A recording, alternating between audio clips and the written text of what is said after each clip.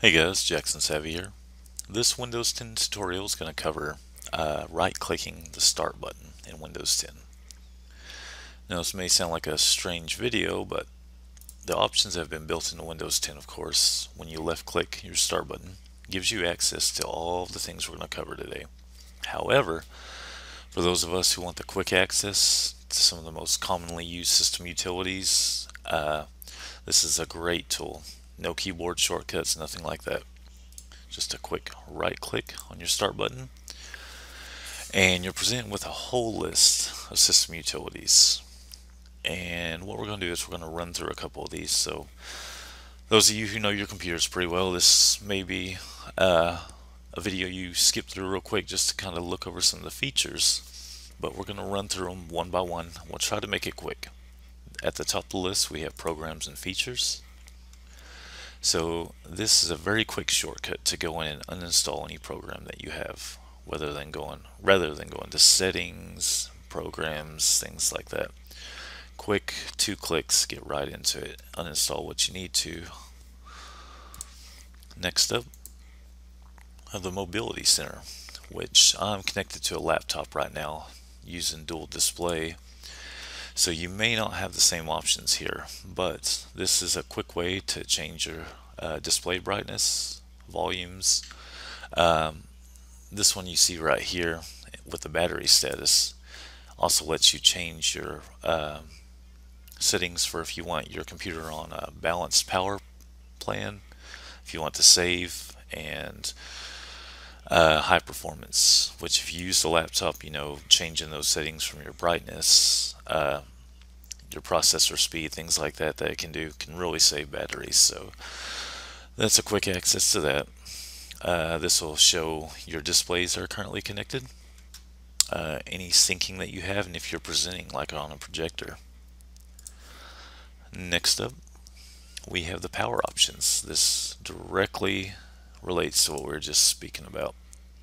In the mobility center where we saw the power plans, uh, this is where you can change all that and you can change individual settings on these plans. I always use high performance and if you want to look at the plan settings it lets you turn off your display at a however long you want to be done if you're running on battery or if you're plugged in when you want to be put to sleep the brightness and you can even get to advanced power settings on here where if you don't want to turn off uh, the internet, your wireless adapters, your USB, uh, a lot of different options here. We won't go too in depth, but it is a quick access to change that. The next one we have is the event viewer. Now, this is something that most people won't get into too often, and I consider myself somewhat of a power user, and I get into it very rarely unless I'm troubleshooting. So this is going to be great for uh, if you're having error messages and you need to look back into your logs, things like that. So not too often you'll have to get into here, but you'll know quickly how to get to it if you need to. Next is system.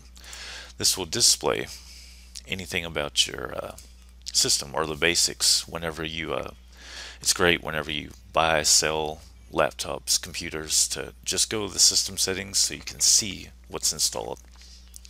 And on here you can see I've got Windows Pro or Windows 10 Pro on the insider and the activation. Shows that does. That isn't activated which I'm not sure if showing my product ID is the best thing but we'll see. Uh, on system right here you can see your processor speed the type uh, how much memory you've got. And uh, if it's a 64 or 32 bit based operating system uh, your computer name. And you even have more options to get into uh, like your device manager remote settings protection all of that from this menu. But I usually use system just as a basic to see uh, how much RAM and the CPU of a computer next one we have is device manager which especially for those of you that are just upgrading to Windows 10 this is invaluable to have and I may do a whole video dedicated to how you can solve problems when you have you know the X's or the exclamation po points across here But Device Manager, of course, shows all the devices and hardware in your computer. Uh, display adapters, uh, your DVD drives, human interface devices, and keyboards. You know, everything that's installed in your system. If there are any problems with something like uh, a lot of you that are upgrading to Windows 10 probably are having trouble with your uh, Realtek audio devices. That's something you'll find in here. And this can pinpoint problems for any hardware you're having.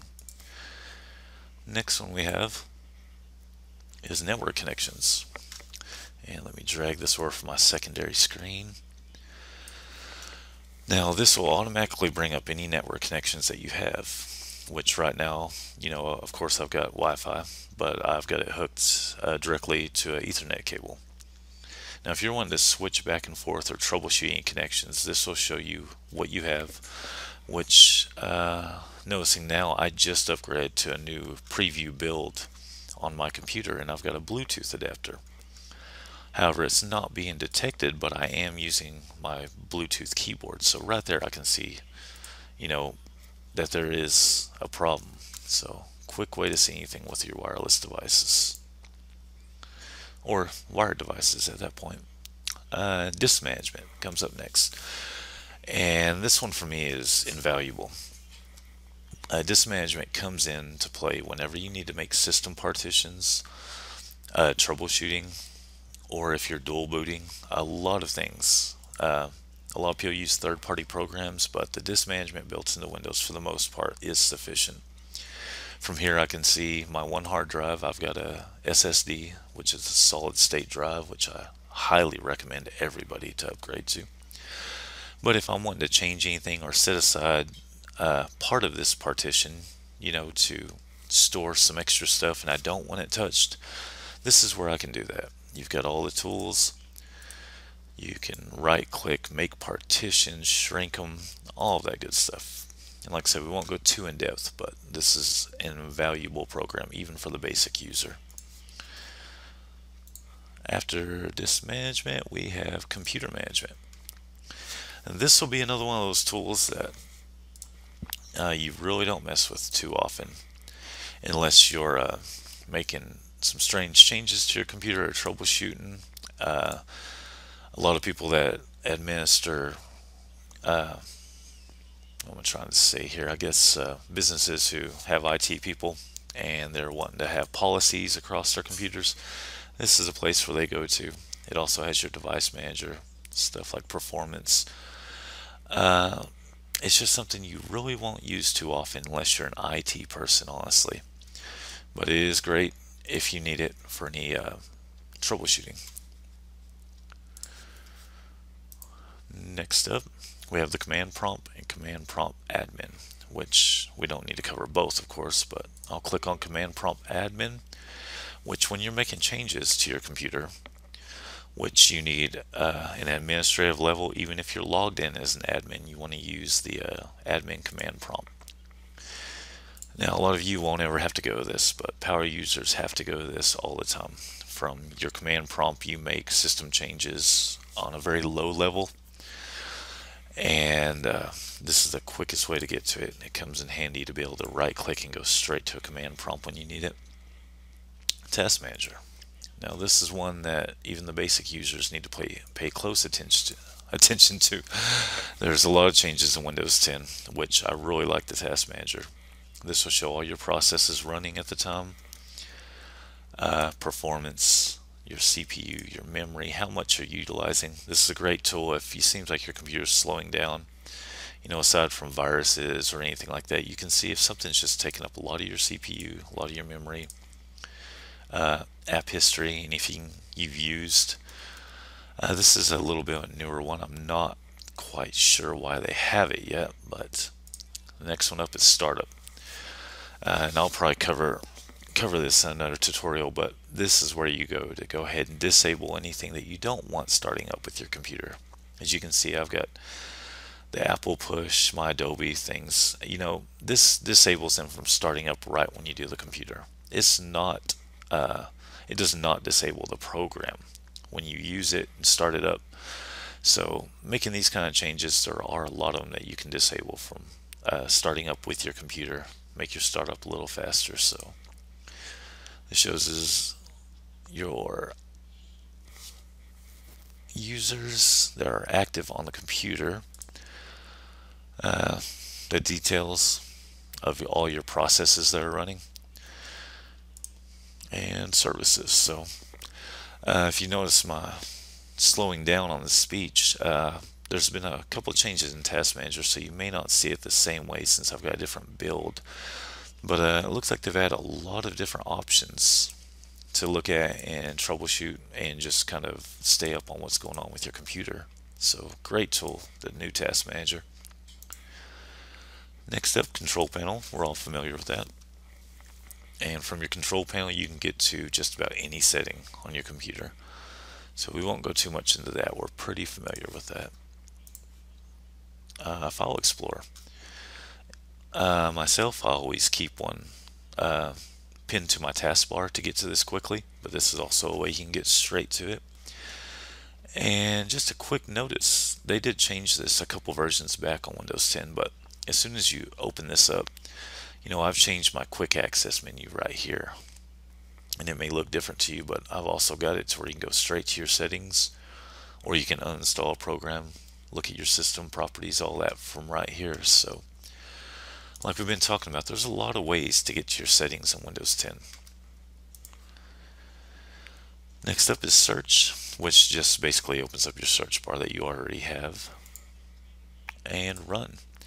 Uh, run is different than the command prompt, but most basic users won't have to use it. It does come in handy as a power user. And uh, whenever you have a problem with your computer, a lot of times that's something you'll be going to. And then you got your shutdown or sign out which gives you your different options here. And let's click desktop. I haven't done that. I guess desktop would actually be if you had a bunch of windows open. Let's try this real quick. Right click it hit desktop. And that's kind of the same as going to the bottom right hand corner of your screen and showing or hiding your desktop. So just a lot of options here. Uh, I just want to do a video kind of show users that you can get to all your options really quickly from right here especially for uninstalling a program and going into your command prompts. It's a great setup that they've done and Windows 10 continues to be really great at listening to feedback. But anyway guys thanks for watching and if you have any ideas for new tutorials or anything along those lines just hit me up in the comments and thanks for watching